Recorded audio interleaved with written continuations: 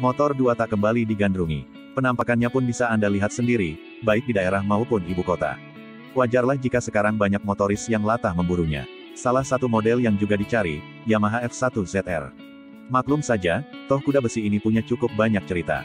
Meskipun masa produksinya hanya berlangsung sekitar 8 tahun. Namun, tak ada salahnya jika kita sedikit bernostalgia dengan bebek mungil bertenaga ini. Generasi pertama Force One tahun 1992 sampai tahun 1994. Perjalanan bebek sport ini dimulai pada 1992. Kala itu Yamaha Indonesia yang masih berdiri dengan entitas PT Yamaha Motor Kencana Indonesia, YMKI, meluncurkan Yamaha Force 1 F1. Diposisikan sebagai penerus Yamaha Alpha. Secara desain, tentu dibuat lebih modis dan aerodinamis. Kendati begitu, dia masih menggunakan sistem pendingin YPCS, Yamaha Performance Cooling System. Teknologi yang lebih dulu diterapkan terhadap pendahulunya, termasuk penggunaan pelek jari-jari dan rem tromol depan belakang. Sebaran tipe ini berlangsung selama tiga tahun, hingga 1994. Kemunculan Yamaha F1Z atau sering disebut FIS di tahun 1996. Di tahun yang sama, mereka merilis Yamaha F1Z. Embel-embel Z di situ nyatanya hanya mendapatkan ubahan minim. Bentuk tubuhnya pun tak ada perubahan. Hal baru cuma terletak pada sektor kaki-kaki depan.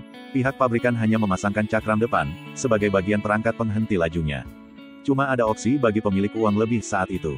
YMKI turut merilis Yamaha F1Z Special Edition, tepatnya pada 1996. Perbedaannya juga tidak banyak, cuma ada behel pegangan di jok belakang dan penambahan aksen krom di beberapa bagian. Menariknya, generasi terakhir F1Z mengadopsi transmisi full clutch. Sudah menggunakan kopling tangan manual untuk melakukan perpindahan gigi.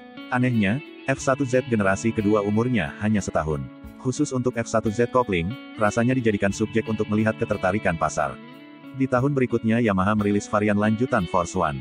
Yamaha F1ZR terlahir dengan kopling banci, tahun 1997 sampai tahun 2004.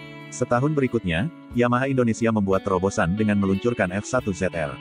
Secara kasat mata jelas tersaji lewat tubuh yang kian sporty. Terlihat dari bentuk tubuh yang meruncing di bagian depan. Desain headlamp, juga lebih besar ketimbang versi F1Z. Di sini, dia juga sudah memakai kopling semi-otomatis. Lantaran bertugas meringankan pergantian gigi saja. Padahal, perpindahan gigi tetap bisa dilakukan tanpa harus menarik tuas di stang kiri tadi. Merujuk pada model sebelumnya, F1ZR dengan kopling banci ini sepertinya menjadi bahan pembanding bagi F1Z versi manual clutch. Pilihan pun akhirnya jatuh ke kopling manual. Terapan itu menjadi bagian dari evolusi Yamaha F1ZR. Dirilis pada tahun 2000, seraya dengan perubahan nama pemegang merek dari YMKI menjadi PT Yamaha Indonesia Motor Manufacturing (YIMM). Tubuhnya masih mirip, tapi tongkrongannya lebih keren berkat aplikasi pelek palang berbahan alloy. Wujud ini menjadi puncak dari rangkaian perubahannya, semenjak generasi Force One. Yamaha F1ZR livery balap menjadi harta karun. Namun F1ZR tak sekadar menjual tampang.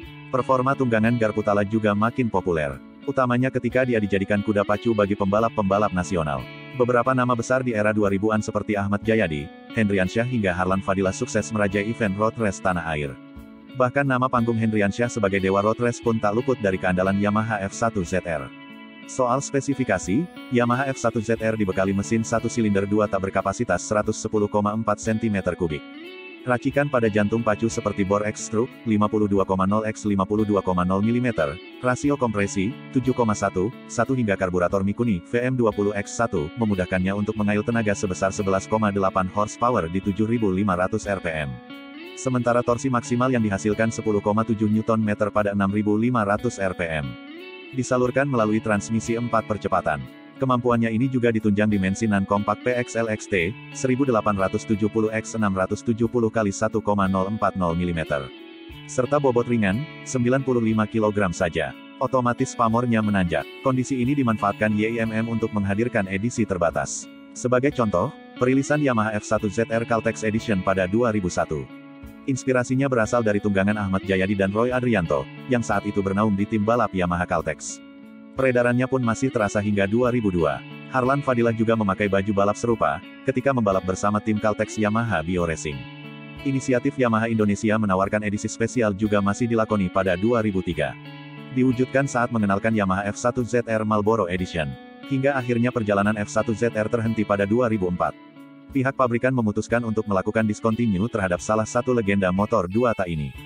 Meski begitu, sekarang F1ZR masih banyak dicari. Pun demikian dengan edisi balapnya. Walaupun harga jualnya dipatok tinggi. Tapi urusan satu itu bukan jadi soal. Apalagi jika sudah menyangkut nostalgia. Termasuk pula alasan Erik Saputra untuk meminang keduanya. Saya membeli F1ZR Marlboro dengan harga 12,5 juta rupiah. Sedangkan F1ZR Caltex 16 juta rupiah. Khusus yang Caltex memang mahal. Tapi sangat worth it. Kondisinya mulus dan semuanya berfungsi. Sampai sein saja masih bunyi. Ya, hitung-hitung nostalgia waktu saya kecil. Dulu motor-motor ini cuma bisa dilihat. Saat itu, belum boleh bawa motor karena masih SMP.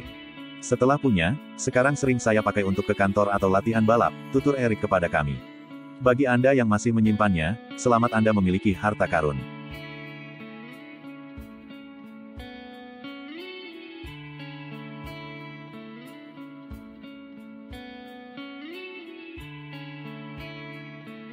Warga netizen yang berotak, membuat video itu tidak semudah menonton, jadi hargai karya kreator dengan cara klik tombol subscribe like dan bacot di kolom komentar.